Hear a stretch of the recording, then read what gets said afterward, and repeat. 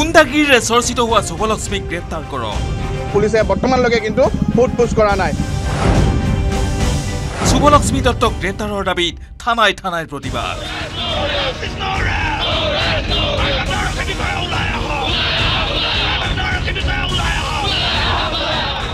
আচ্ছা চাহ মজদুৰ সংঘৰ প্ৰতিবাদত উত্তাল নাজিৰা।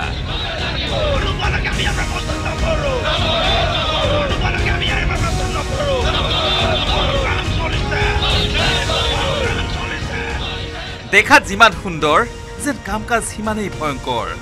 কাৰণ যিবোৰ অভিযোগ উঠিছে সেইবোৰ শুনি হতচকিত হৈ পৰিছে সকলো। নাম শুভলক্ষ্মী। কান্ত কাৰখানাত লক্ষ্মী হোৱাটো বাদেই স্বয়ং মা কালিও স্তম্ভিত হৈ পৰিব। দুষ্টক দমন কৰি নহয়।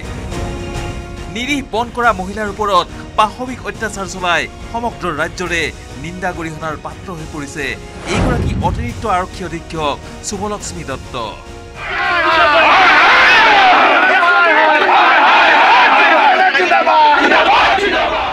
চৰাইদেউ জিলাৰ এইগৰাকী আৰক্ষী বিষয়া শুভলক্ষ্মী দত্তই গাত গৰম পানী ঢালি চকু আৰু গুপ্তাংগত ভোট জলকীয়া সানি শাৰীৰিকভাৱে প্ৰহাৰ কৰাৰ অভিযোগ উত্থাপন কৰিছিল শুভলক্ষ্মীৰ বন কৰা মহিলা ভুক্তভোগী অনিমা প্ৰজাই।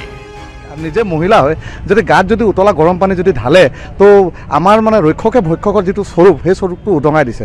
তো আমি মানে আৰক্ষী প্ৰশাসনক এটা কথা অনুৰোধ জনাম তেখেতে আৰক্ষী এটা পদবী থকাৰ কাৰণে আইনৰ সুৰুঙাৰে তেখেত যাতে বাচি নাযায় তাৰ কাৰণে আমি মানে আৰক্ষী প্ৰশাসনক অনুৰোধ জনাম শুভলক্ষ্মী দত্তক গ্ৰেপ্তাৰৰ দাবী জনাই নাজিৰা আৰু শিৱসাগৰৰ আচ্ছাৰ লগতে নাজিৰাৰ চাহ মজদুৰ সংঘ শাখাই নাজিৰা আদৰ্শ আৰক্ষী থানাৰ সন্মুখত উত্তাল প্ৰতিবাদ সাব্যস্ত কৰে।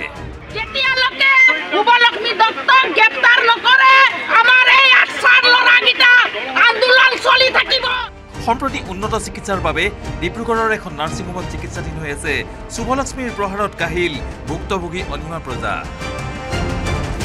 শুভলক্ষ্মী দত্তৰ নাজিৰাৰ চৰকাৰী আৱাসগৃহত বন্ধ কৰা হিচাপে আছিল অনিমা প্ৰজা। শুভলক্ষ্মীৰ পাশৱিক অত্যাচাৰৰ প্ৰতিদিনৰ ভুক্তভোগী আছিল হেনো অনিমা প্ৰজা। পিছে যেতিয়াই অনিমাক শৌচাগাৰত সোমোৱাই শুভলক্ষ্মীয়ে কোবাই কোবাই খোজ কাঢ়িব নোৱাৰা অৱস্থা কৰিলে তেতিয়াই ধৰক বৰক খোজেৰে নাজিৰা থানালৈ আহিছিল অনিমা। পিছে তাৰ পিছতো হেনো আৰক্ষীয়ে ৰুজু কৰা নাছিল গোচৰ। এই বাতৰি সংবাদ মাধ্যমে পোহৰলৈ অনাৰ পিছত ৰাজ্যৰ আৰক্ষী সঞ্চালকপ্ৰধানৰ নিৰ্দেশত অৱশেষত নাজিৰা আৰক্ষীয়ে ৰুজু কৰিছিল এক গোচৰ।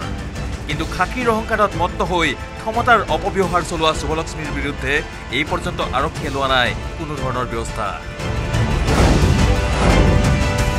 প্ৰতিবাদকাৰীৰ মতে খাকী পিন্ধাৰ যোগ্যই নহয় A S P Shubhalakshmi Dutta. চলিব যদি আইন ৰক্ষণত এখন ব্যক্তি থকা সন্দেহে সাধাৰণ ৰাইজতকৈ বেছি ভুক্তভোগী বেছি যে তেওঁলোকক শাস্তি প্ৰদান কৰিব লাগিব। যদি শাস্তি প্ৰদান নকৰে আইনৰ ওপৰত অসম প্ৰশাসনৰ ওপৰত অসম চৰকাৰৰ ওপৰত বিশ্বাসটো সম্পূৰ্ণৰূপে নাইকিয়া হৈ যাব। যে অতি শীঘ্ৰে শুভলক্ষ্মী দত্তক এৰেষ্ট কৰিব লাগে আৰু তেওঁক তেওঁৰ যিটো দায়িত্ব দায়িত্বৰ পৰা বৰ্খাস্ত কৰিব লাগে। উল্লেখযোগ্য শুভলক্ষ্মী দত্তই নিম্ন বৰ্গৰ মানুহক মানুহ জ্ঞান ধৰাৰ দৃষ্টান্ত এইটোৱেই প্ৰথম নহয়। নিৰীহ লোকৰ ওপৰত অত্যাচাৰৰ অজস্ৰ অভিযোগ আছে। এইগৰাকী শুভলক্ষ্মীৰ বিৰুদ্ধে। চাৰি বছৰ পূৰ্বে এইগৰাকী শুভলক্ষ্মীয়ে হোমগাৰ্ডৰ জোৱানক ঘৰুৱা কামত লগাই চৰিয়াই দাঁত ভাঙি দিয়াৰ বাতৰি পোহৰলৈ আনিছিল নিউজ এইটিনে তেখেতে মোক পানী এগিলাচ বিচাৰিছিলে। পানী গিলাচ মইতো গৰম পানী গিলাচ ঘপককৈ মই দিব নোৱাৰোঁ। নোৱাৰা খাতিৰত মোক তেওঁ কি কৰিলে মানে চাৰিটামান ভুকু মাৰিলত মই লুটি খাই পৰি গ'লোঁ। পৰি যোৱাৰ পিছত তেওঁ কি কৰিলে ভেকচন ধৰিছে বুলি কৈ মোক তেখেতে মানে এক গোৰ মাৰি দিলে। পিছদিনাখন হ'ল কি আপোনাৰ এই মোক তেখেতে হেৰি ড্ৰেছযোৰ বিচাৰিছিলে। ড্ৰেছযোৰ মই তেখেতক ঘপককৈ দিব নোৱাৰা কাৰণে তেখেতে মোক একশ মাৰিলে। একশ মৰাৰ পিছত মই আয়ো বুলি ক'লত তেখেতে কৈছে ভেকচন ধৰিছে বুলি ক'লত আকৌ একশ মাৰি দিলত মই দাঁতটোকে এখাই থাকিলোঁ পিছে কাৰোবাৰ আশীৰ্বাদত এনে অভিযোগৰ পৰা সাৰি পদোন্নতিৰ জখলাতহে বগাই আহিবলৈ সক্ষম হৈছে শুভলক্ষ্মী।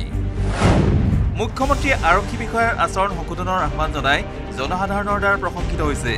কিন্তু অসম আৰক্ষীত শুভলক্ষ্মীৰ দৰে কলংকিত আৰক্ষী বিষয়াবোৰ থাকিলে বিভাগটো যে কেতিয়াও নিকা নহয় সেয়া খাটাং নাজিৰাৰ পৰা নবুল কৌৰৰ সহযোগত bureau' report news eighteen Assam north east.